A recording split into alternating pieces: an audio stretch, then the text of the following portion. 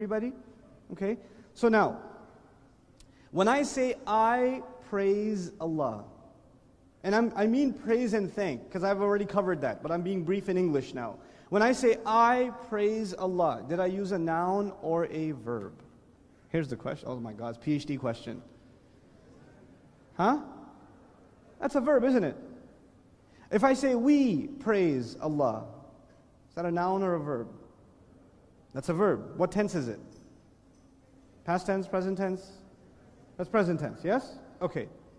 When I say praise belongs to Allah, is the word praise a noun or a verb? Is that clear to everybody that praise is a noun? Allah could have used a verb. I mean, in Arabic, you could say, ah, Ahmadullah, I praise Allah. Nahmadullah. Like you hear the khutbah, Alhamdulillah, Wa nasta'inuhu. You've heard this before? Right before you go to sleep? Right? So you've heard wa nasta'inuhu. So it's a verb. Oh, 10 minutes left. Fantastic. So, Nahmaduhu, we praise him. Ahmaduhu, I praise him. But Allah didn't say I or we. He didn't use the present tense, he actually used a noun. Now, the thing I told you very basically was nouns don't have a tense. There's no past, no present, or no future. But verbs have what? They have tense, they have present. They have present tense, past tense, future tense. Now, the thing of it is, here's what makes this beautiful. If I say I praise Allah, then I'm only talking about the present. I said nothing about the past, and I said nothing about the future. If I use the past tense, then I'm not guaranteeing anything about the present or the future. Because a tense has to be one or the other. Has to be one or the other. And by the way, just because I'm praising Allah right now, does it guarantee the next hour or no? No, it's limited, isn't it? It's not permanent. A verb is not permanent. Allah used a noun, and nouns are what? Permanent. Allah's praise is described with permanence.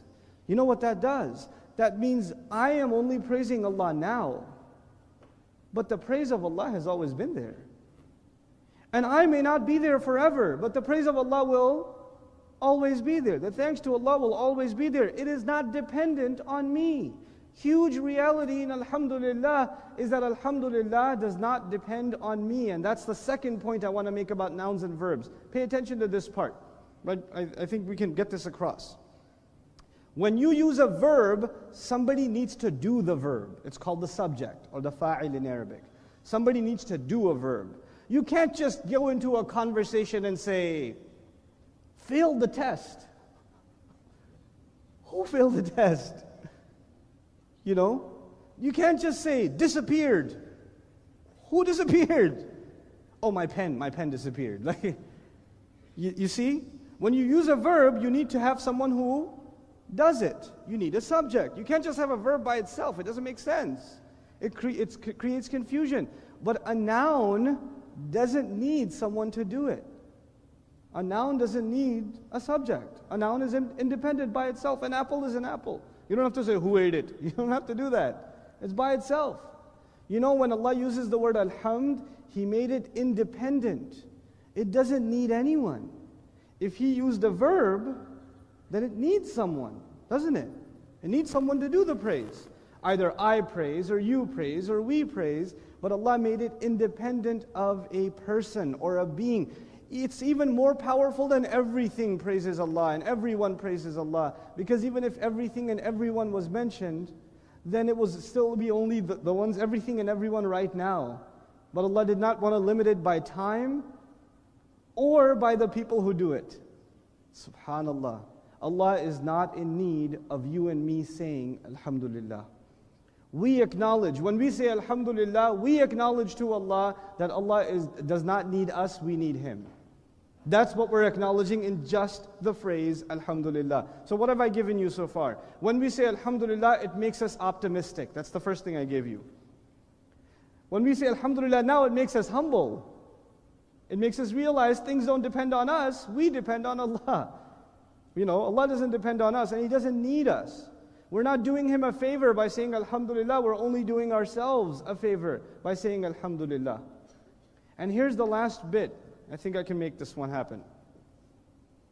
Commands, a kind of verb, a special kind of verb is commands. Like, for example, in Arabic, you could say, Ihmadullah, praise Allah. Praise Allah. Like if, you know, and it could be made as a request too. Let's pray Maghrib. Or you can tell your child, bring me water. Right? So, for example, when I'm home and I tell my daughter, hey, Husna, bring me water, she has two choices. When you give someone a command, there are two choices, right? What are the two choices? Either they do it or they don't do it. So if I give, if I tell Husna, bring me water, she has two choices. Either she will bring me water or she will bring me water. There's two clear choices for her, right?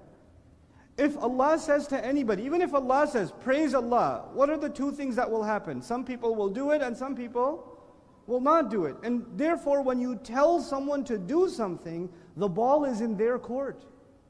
It depends on them. Maybe they'll do it and maybe they won't. Allah did not talk about praise in a way that depends on us. He didn't put the ball in our court.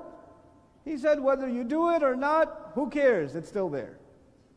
Alhamdulillah, it's still there. It's been there forever, it will be there forever. Human beings will come and go, generations will come and go, this world will come and go. The hamd of Allah will still be there. It's a matter of fact.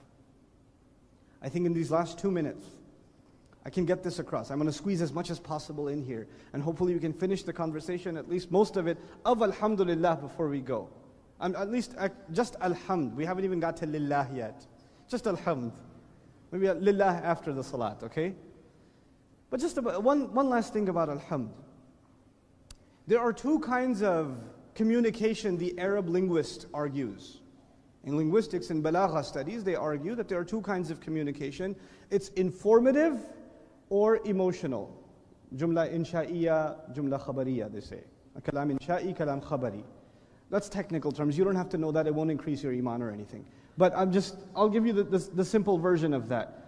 Either you have speech that is expressing your feelings, or you have speech that is communicating information. Two kinds of speech. Now, that sounds really technical and very hard to understand, so let me make it simple for everybody. When I say to, I sit somebody down and I explain something to them, is that an act of delivering information or is that emotion?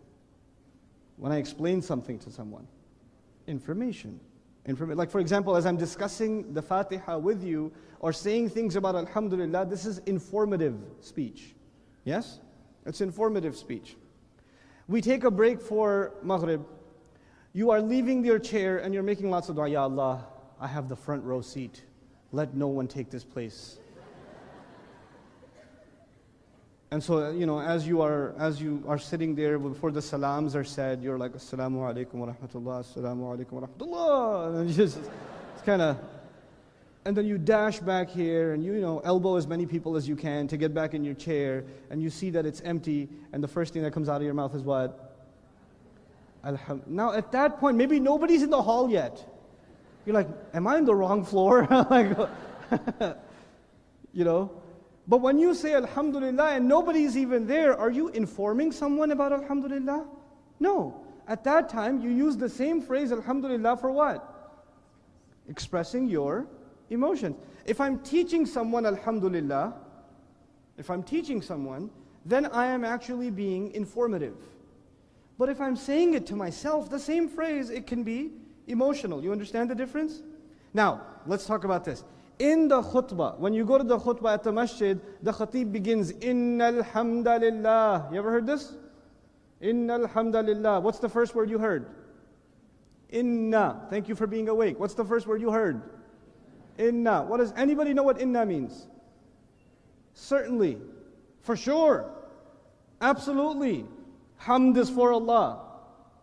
Absolutely, hamd is for Allah. Now, what's more powerful? Is saying hamd is for Allah more powerful or saying absolutely hamd is for Allah? What sounds more powerful?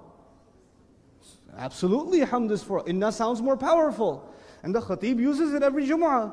The question is, how come Allah didn't use it? How come Allah didn't say, Inna alhamdulillahi rabbil alameen ar-Rahman ar-Rahim maliki yawmiddin? Yeah? Because it's a very powerful statement. Why not make it more powerful by adding inna? After all, you've been listening your whole life. Quran is perfect. You can't even add one word. You can't even add one word. It's perfect the way it is. So what difference would it make? I could just throw in a little inna. Khatib does it all the time. I could do it too. The only difference is when you use inna in Arabic linguistics, when you use inna, the statement can only be informative. The statement can only be informative. It cannot be what kind of statement? Emotional. Emotional. Now, if you don't use inna, your statement could be informative and could be emotional. By not using inna, Allah actually made Alhamdulillah a statement we use to tell others. And we, He also made Alhamdulillah a statement that we tell ourselves. Subhanallah. The beauty of it is now it's used in, the, in uh, communicating the feelings of our hearts and also a message we want to give to somebody else. Both of them. If inna alhamdulillah is used, then actually, technically, it's not an expression of one's emotion. It's only meant to talk to somebody else, not to yourself. Subhanallah. And the khatib, obviously, the khatib is not talking to himself first. Who's he talking to? Everybody else. So he says, Inna alhamdulillah. I want you guys to remember alhamdulillah. He's telling you, so he uses inna. The point I've been, been trying to make thus far before our break is that every phrase in the Quran, starting with Alhamdulillah, is so perfect the way Allah says it that no matter what variation you try to come up with, use a verb instead, use inna, use shukr, use madh, you don't get what Allah communicated. You don't get what Allah Azza wa Jal Himself